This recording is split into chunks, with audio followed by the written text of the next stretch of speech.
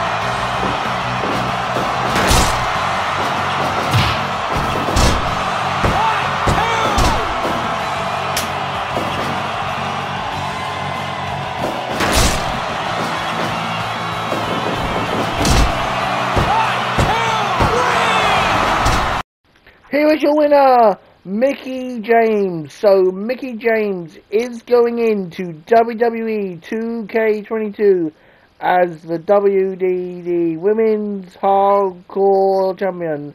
Keep in mind, the Women's Hardcore Champion, wherever that may be, by the time Christmas Eve Bash comes around, gets an automatic shot at the WDD Women's Championship. So will Mickie James be able to keep her championship all the way up until Christmas Eve's Bash? Well, there's only one way to find out, and that's to stay tuned for my upcoming WWE 2K22 videos. Just a reminder, Mickie James is the champion going into 2K22.